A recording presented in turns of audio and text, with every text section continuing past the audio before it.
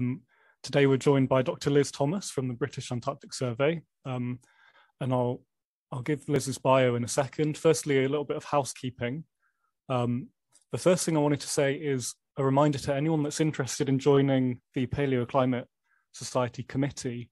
We have lots of committee positions up at the moment. Um, you can check our Twitter or the website. Um, I think you may have had an email as well.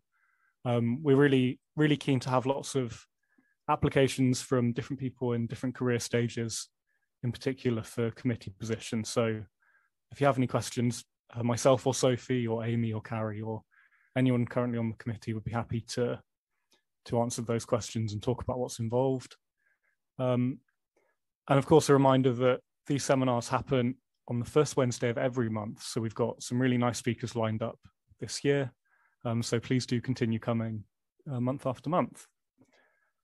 So Dr. Liz Thomas is a paleoclimatologist and head of, ice core of the Ice Core Research Group at the British Antarctic Survey. She uses stable water isotopes and geochemistry from ice cores to reconstruct past climate, surface mass balance, and sea ice variability in the polar regions over centennial to millennial timescales. She is chair of the PAGES Working Group Climate Variability in Antarctica and the Southern Hemisphere over the past 2,000 years, and leads theme one of the instabilities and thresholds in Antarctica, instant scientific research program. Liz has led several expeditions to Antarctica, the Arctic, Greenland and Svalbard, and recently an expedition to drill the first ever ice cores from the subantarctic islands. So thank you again for joining us, Liz. Um, I'll hand over to you in a second. First, to quickly say, if you have any questions that arise while Liz is, is giving her talk, you're welcome to drop them into the Q&A box uh, or into the chat. Um, and myself and Sophie will, will ask for questions at the end of the talk. Um, the talk will be recorded, but none of the participants' information or names will be included in that recording. Um, so you'll be able to watch back on YouTube at a later date. So I think that's all the housekeeping. Um, yeah, I'll, I'll hand over to you, Liz. Okay, thank you. I'll uh, share my screen.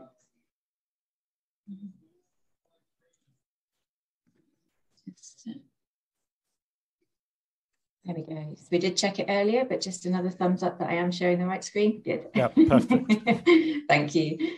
Um, so thank you very much for the invitation to come and give this um, seminar.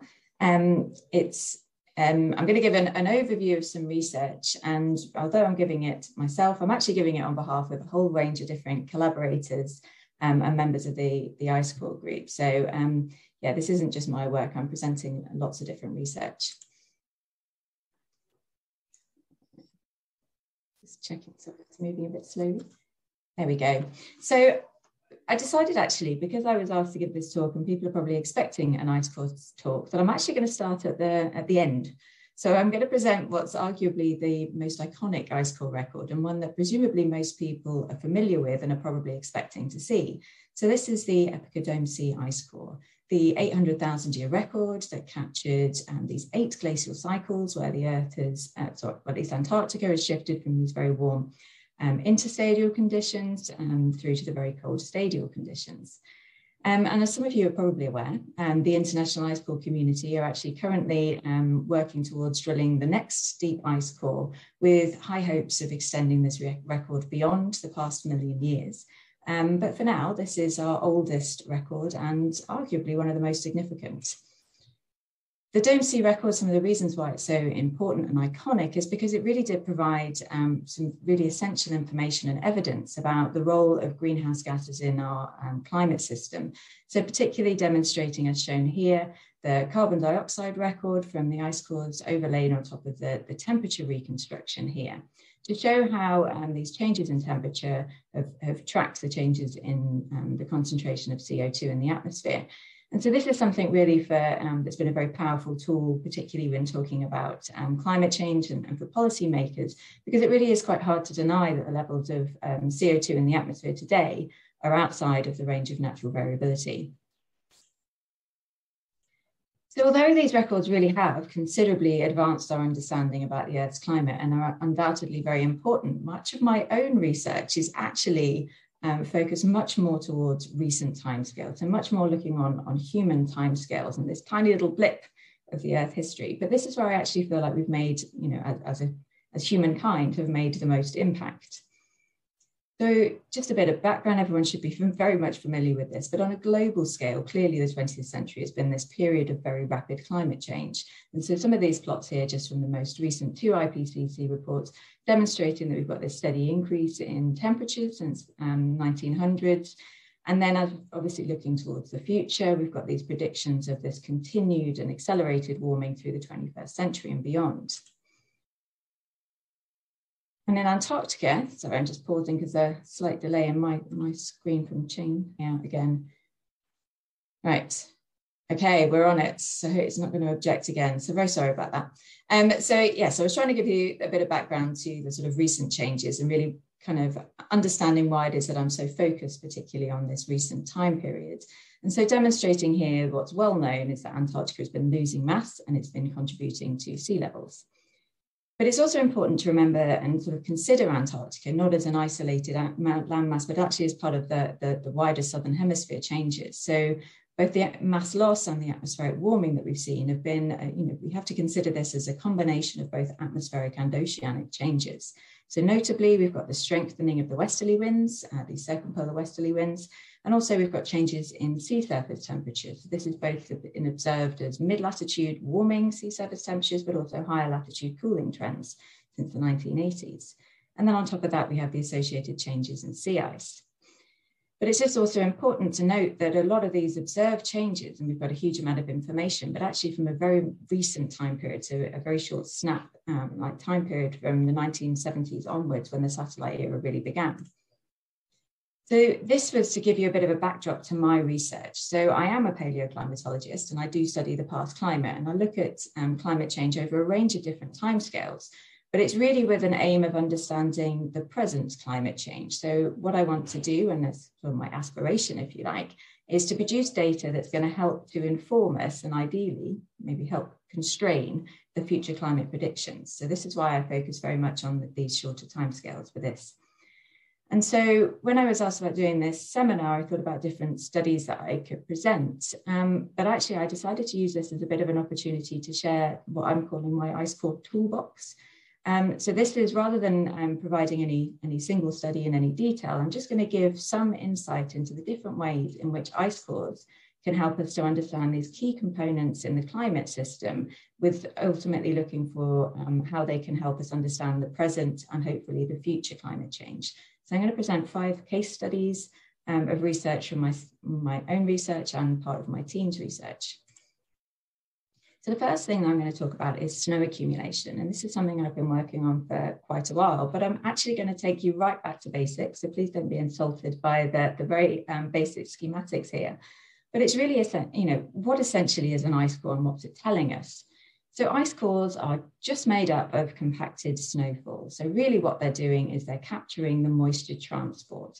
And so as we get moisture that evaporates off the surface of the ocean, it's deposited on the ice, and that's what, what turns into our ice core. And the amount of snow that's deposited is dependent on a number of different factors. But some of them include the warming, so warming sea surface temperatures resulting in increased evaporation and hence more snowfall but also other factors such as the reduction or changes in the sea ice, either as a result of um, warming sea surface temperatures or the more dynamical wind-driven changes in sea ice.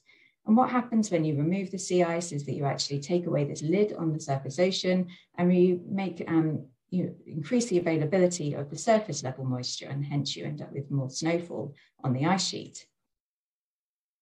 And the snowfall in an ice core um, is termed the snow accumulation because this is the combination or the net result of the precipitation, but also taking into account some of the losses, which include the, the sublimation, wind erosion, and also in some, some areas melt.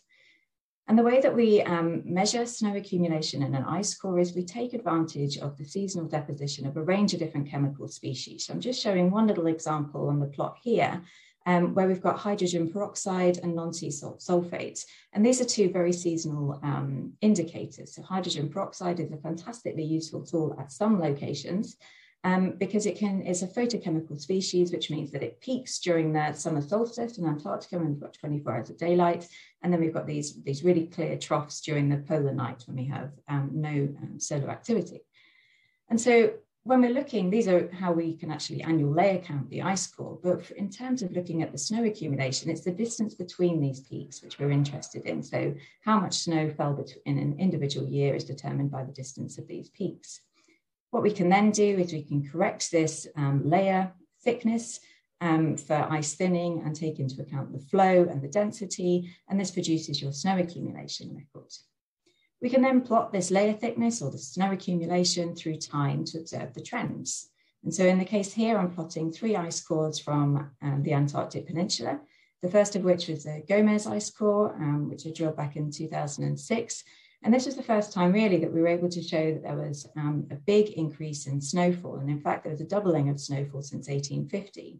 So when I first published this, this was met with, um, it's fair to say, a little bit of skepticism um, because it was argued that it could have possibly been just um, what was happening at a single site. But since then, we've been building up the picture by drilling more and more ice cores to actually show that this is a really quite consistent pattern that we're seeing across the whole of the Antarctic Peninsula region. And actually at several other low elevation coastal sites as well, we've got this big increase in snowfall during the 20th century. But it's only really when you start looking at this on the continental scale that you start to realize just how significant this is. And so back in 2017, um, I published a, a, all of the available records at the time, which was 79 ice core records of snow accumulation. And what this was able to do was to demonstrate that on a continental scale, there's been an, actually really significant increase in snowfall, particularly during the latter part of the 20th century. So on the slide here, I'm presenting in two different ways, the, the trends in total Antarctic snowfall, and this is in gigatons per year since 1800. So on the left, we've got a histogram, and this is showing the, um, both the 50 and the 100 year trends. And the, the vertical lines are indicating the location of the most recent of those trends to really sort of demonstrate that the most recent 50 and 100 year trends in this record are outside what we would consider the natural variability or the expected range. And then another way of showing this is, is spatially. And so what we've done here, you could just sort of faintly see probably all the little yellow crosses are indicating where the actual ice core sites are here. And what we've done is mapped this record onto the spatial grid of the atmospheric models. And so this allows us to look at not just the, the total increases, but more of the spatial variability to really understand the different um, patterns and trends that are occurring during this time. But when you combine all of this together, and look at the ice sheet as a whole, we can see that actually the surface mass balance or snow accumulation has dramatically increased since 1800. And that's actually in the order of 272 billion tons more snowfall annually um, fell during the most recent decade. And in, in this um, particular study, the most recent decade was up until uh, 2010, compared with what the, the um, decadal uh, snowfall was in the beginning of the 18th century. So this is, um, you know, the equivalent actually, and we, we work this out, it's the equivalent of twice the volume of the Dead Sea, so huge, huge volumes of snowfall. And so during the 20th century, this actual additional snowfall that fell over Antarctica, where it was then trapped under the ice sheet, was enough to mitigate global mean sea levels by 10 millimeters. So I hope this is kind of clear why understanding what's driving and, and actually knowing about what's happening with the surface mass balance and the snow accumulation is actually of global significance. However, there's still quite a lot of unknowns, and particularly we're interested in well, what's driving these changes? Um, you know, why is this big increase in snowfall occurring?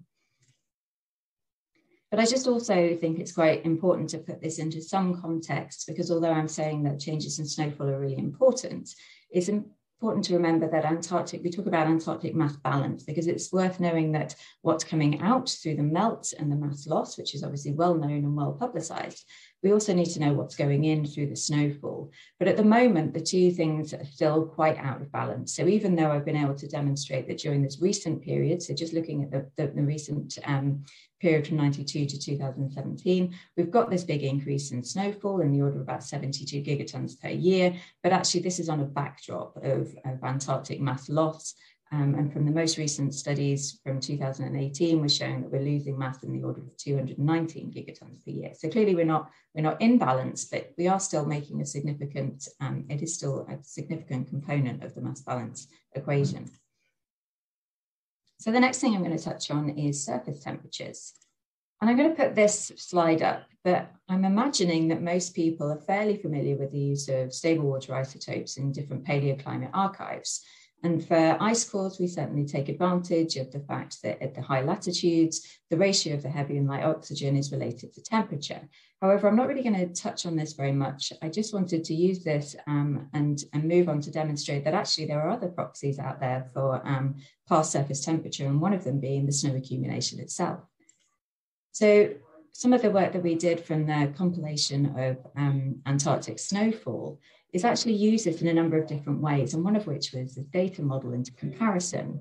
So in collaboration with some uh, colleagues of mine, Hugues Goosse and Quentin Dalaiden, um, we actually did a range of different um, model data into comparisons. And what Quentin was able to do, or Quentin was able to do, was establish that actually there is a significant relationship between the snow accumulation and surface temperature across a range of different, um, the outputs from a range of different global circulation models.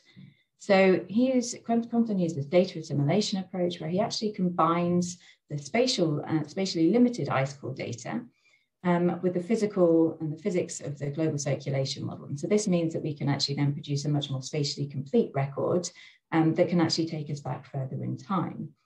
And then the study that we were doing was demonstrating that um, snow accumulation is strongly correlated to temperature. But in fact, the temperature reconstructions that, that Quentin produced from this were actually even more strongly correlated with um, and had a higher, higher correlation with surface temperatures than the more traditional um, proxies, including stable water isotopes.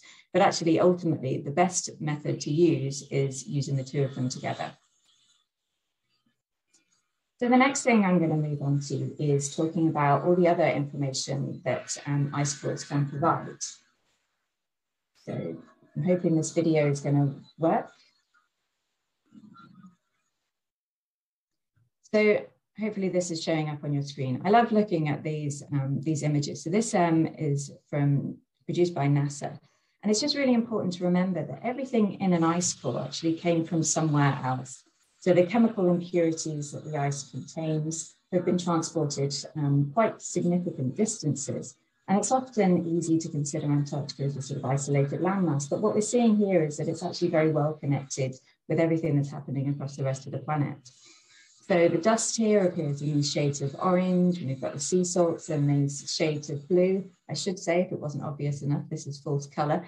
Um, but then we've got these sort of sulfates that are changing in these whites and carbon. We've got changes appearing in green. And some of these have very distant source region, regions, but this sort of constant circulation patterns and even these tropical teleconnections mean that the ice is, these are being transported even as very small particles to Antarctica. So therefore, an ice core is made up of all of this different information. And the concentration of the particles and the chemistry in the ice core are capturing really important information about land use changes, including so, um, changes in the agriculture, changes in the land use, um, but also changes and the influence of industry. And so sadly, there is growing evidence of um, pollution that's reaching Antarctica. And just as a little side note, I've been working with a team from UCL um, who've actually been able to identify what we believe is the first evidence of fly ash particles in an Antarctic ice core. And these um, come from the, these fly ash or come from the high combustion of fossil fuels. So they've been tra transported quite large distances. But ice cores also capture natural variability too. So these blue um, plumes on the, on the figure here are representing the marine aerosols and the transport of sea salts from the open ocean to the ice sheets. Some of the other things that we're able to capture here are actually the volcanic emissions. I'm just going to do a little um, note here to, to how actually volcanoes are used and important within ice core research. So I've got two little studies here, and the image just in the middle is an example from um, of a, an ash layer from the WAIS Divide ice core. But quite often, what we see in ice cores, uh, from the volcanic influence at least, is not in the visible. It's actually in the chemical or in the, the very small particle sizes. But what we've got on the left is actually a tephra shard, and this was identified across a number of different West Antarctic ice cores. And interestingly, it's been used to verify a previously unconfirmed volcanic eruption from one of the subantarctic islands. So I just think this is quite an amazing little study, actually. It was led by Dieter Tetzner.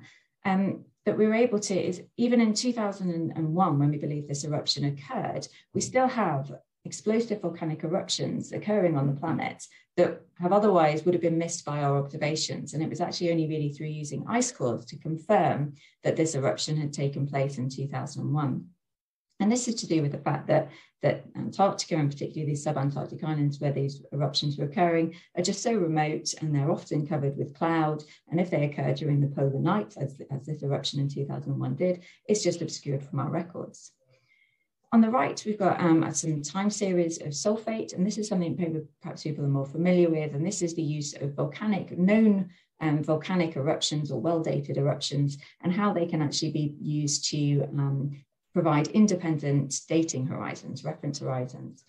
And this is really important in um, producing age scales, particularly using as, as in order to constrain um, modeled age scales, or in the case of this recent publication from Daniel Magnusson, it was actually used to verify the accuracy of annual layer counted age scales. So these are just two um, examples. So moving on now to the, the marine aerosols. Um, this is really important that, um, you know, the, the, examples here showing some of the, the sea ice breakup is that the sea spray aerosols, which can either consist of different things, such as the sea salts themselves, so sodium chloride, but also very much an organic um, component, which make up the, the marine boundary layer. And these are actually transported directly to the ice core um, sites through the really strong, um, strong wind events, which uplift all of this from the surface of the ocean and then transport it. And as we found, they can actually transport um, this sort of organic components quite considerable distances inland. The sea ice itself also acts as a good source of marine aerosol and sea salts and halogen species, which are known to be um, emitted from the, the surface of the sea ice. So one of the things I'm just going to touch on is the use of um, something called MSA, which stands for methane sulfonic acid. And this comes from dimethyl sulfide, which is produced by certain types of phytoplankton. And the DMS cycle is actually very complex. Um, I very, very much oversimplified it for this um, slide here. But it essentially becomes oxidized in the atmosphere and produces methane sulfonic acid, MSA, which is what we routinely measure in ice cores. And what we found is that the increased biogenic activity, um, such as that produced by the algae from around the sea ice edge, um, actually results in an increase of dimethyl sulfide, which then results in an increase in MSA, which is actually deposited at our ice core sites. So therefore, we can go back and use this concentration um, to reconstruct the sea ice. However, it's important to note here that this process, and in fact, all of these different processes, are very much dependent on the transport pathways, so particularly things like the wind strength, wind direction, and the whole sort of larger scale atmospheric circulation, which depend, you know, is, is what's driving whether these species are actually deposited at the ice core sites. But providing we've got a good understanding of the transport mechanisms, um, it means then that we can use MSA from an ice core to go back in time and reconstruct past sea ice extent. So I'm just showing here some work from paper from quite a while ago now, um, but it's actually some examples from ice core sites in the Antarctic Peninsula. And one of the things we were able to show is we had a range of different ice cores from the north of the peninsula, and then comparing it with an ice core from um, the Ellsworth Land coast, we can actually um, demonstrate that there's been this really strong dipole pattern in sea ice across um, between the Bellingshausen Sea off the just off the side of the Antarctic Peninsula, and changes in the Weddell Sea and the, uh, the Ross Sea. And this sort of strong dipole um, pattern is evident during the instrumental period. And what we were able to show with the ice cores is that actually this is part of a much longer, at least 100 year trend. So the record I'm showing, if you can just see, we've got the, the Ferrigno ice core in blue is capturing changes in the Ross Sea. Um, and on the little map on the side, you can see roughly where the sort of highlighting where the area of correlations is refers to. And then we've got ice cores um, from the Antarctic Peninsula, which are shown in the green, which are capturing this decreasing trend in the Bellingshausen Sea. So this is just one example, or, or just two examples really, of, of, of, individual ice core sites. But it's what we can do with these as a across a continental scale that become um, much more relevant and much more useful because what we can do is actually calibrate these records against the satellite observations. So we can use those to actually then estimate the changes in sea ice extent through time and plot these then in, in terms of how these have changed during the 20th century. We had a, a, bit of a review of all the different records that we have. And at the moment, we're pretty much limited to just the last 100 years in terms of our reconstructions. However, we're hoping that um, more, um, more records will become available, but also longer records may become available so we can actually extend this reconstruction in the paleo back further. But what this is really interesting is, is demonstrating that um, the trends that we're seeing in the ice core records, or just confirming really that the trends we're seeing in the ice core records are reflected in what's been happening during the modern era, so from 1979 onwards. So, for example, the sea ice in the Ross Sea we've seen has been advancing since 1900. So this is shown in the plot on the left, which is the reconstructions. And this is shown as a, as a sort of purple um, because it's being an increase in, in sea ice in the Ross Sea. And this is very much reflected and seen as, as what, what has been occurring during their um, satellite observations since 1979. In fact, this is one of the most significant areas in, of um, change in the observational periods. But also we've got then on the other end of this, we've got this decline in sea ice during the, the recent period, um, which is reflected as part of a, a 100 year trend in the Bellingshausen Sea. And this is shown as the, the green areas on the plot. I just wanted to quickly put this one up because there's been a, a little bit of interest recently in, in how um, the actual sea ice around Antarctica during January this year was actually one of the lowest um, sea ice years on record. And it's just important to sort of keep bringing this back really is that, you know, understanding the paleoclimate is really interesting and really important, but it, it allows us to put some of these recent, um, I guess, headlines, if you like, about changes in the climate into this much longer um, context. So back to my, my little um, figure here. Um, in addition to all of the other marine aerosols um, that are deposited at the ice core site, um, the ocean also provides other proxies for us, and these I'm going to talk a bit, little bit about marine diatoms. And these are the um, produced like the algae themselves that are being uplifted from the surface microlayer and transported inland. And this brings um, these marine diatoms that we can find actually in the ice. Um, and what we were able to do, or what my colleagues Claire Allen and Dieter Tetzner are able to do, is actually identify and determine which species we've got within the ice core. And then we can look at the uh, total abundance um, in each individual year. And what we've been able to do finding this, and this is just an example here from the Ferrigno Ice Core, which is drilled on the Ellsworth Land coast, just shown in the um, little blue star there is that actually there's a really strong relationship between the amount of diatoms that we're finding in the ice core and the wind strength, and particularly the wind strength around the west of the, um, the area of the, the circumpolar westerlies. And so what this is um, really showing is that you need these really strong winds to actually uplift the diatoms from their source um, out in the in the, um, the Southern Ocean, and then transport them around all the way several thousand kilometres and potentially several thousand kilometres inland as well to these ice core sites.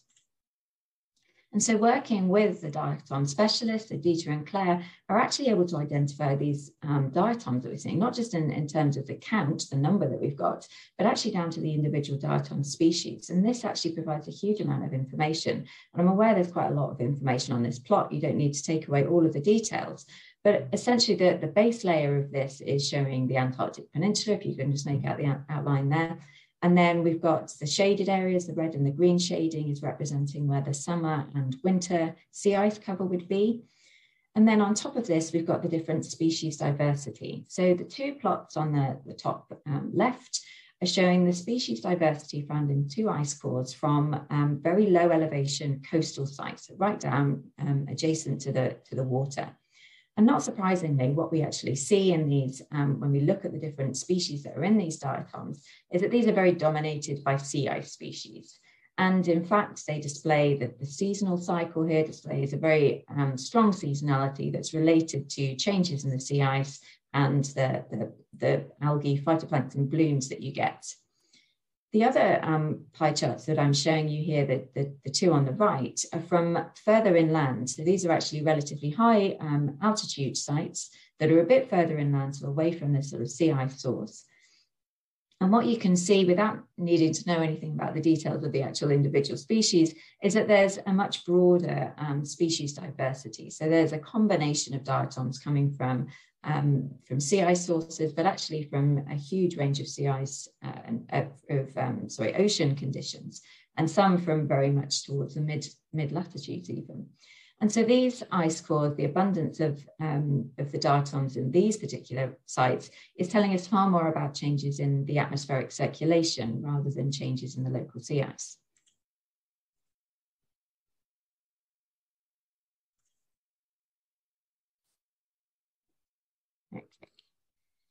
So one of the things I kind of wanted to point out is just I've given a few examples of how we're looking at changes in atmospheric circulation, changes in sea ice, and particularly changes in snowfall. And all of these big changes are happening around the fringes of Antarctica. So if we're interested in looking at these changes in sea ice productivity, the best place to actually look is closest to the coast, so closest to the source.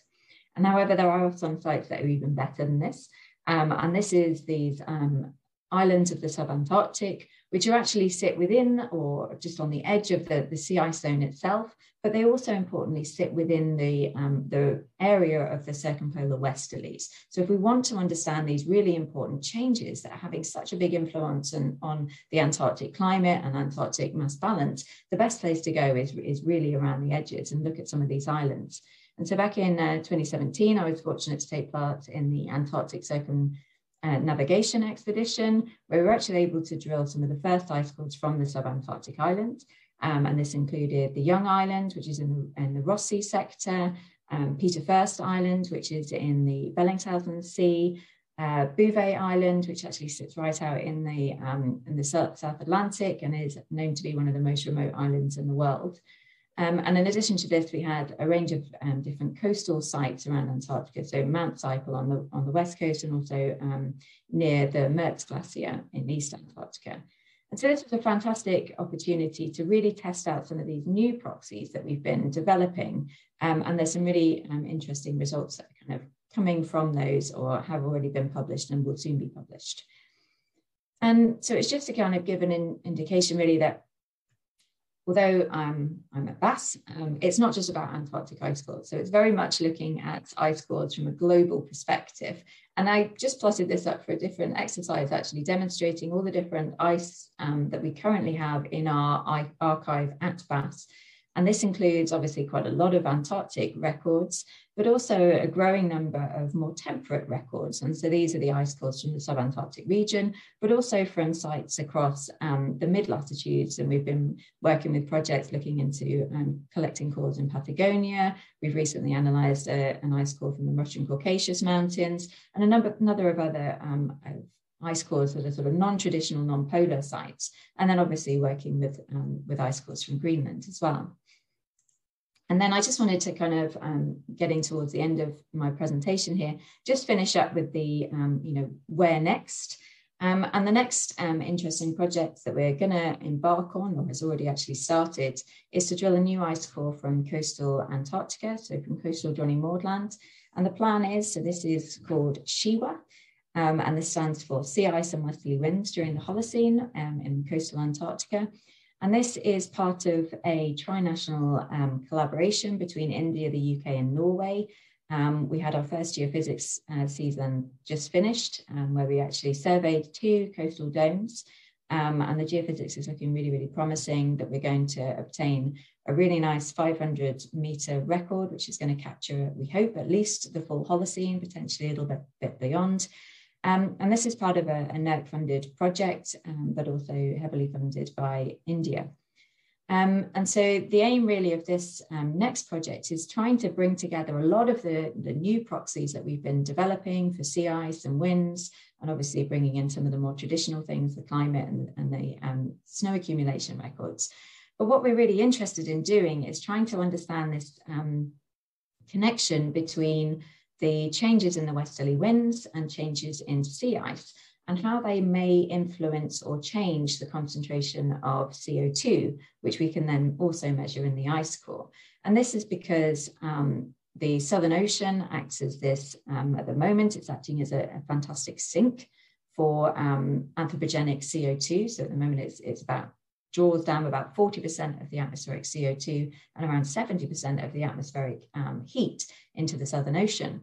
However, changes in the wind strength and changes in the amount of sea ice cover will influence this air-sea exchange. And there is some potential and there's some evidence that actually we can have a switch between the Southern Ocean being a sink for, for CO2 and to actually potentially becoming a source for CO2. And that means that when we have these stronger winds or less sea ice, um, we can then start to draw up the, um, the CO2 from the deep ocean and start to re-emit it to the atmosphere. And obviously that's something that we'd really like to, you know, that's a very important process, particularly with our future projections, that we really need to understand in, in a bit more detail. So we're hoping that um, this new ice core that we're going to collect, we're going to produce a high resolution CO2 record together with all these new proxies for sea ice and, and winds, and start to try and um, understand actually what's driving these processes or, or, or how sensitive is the relationship between the two.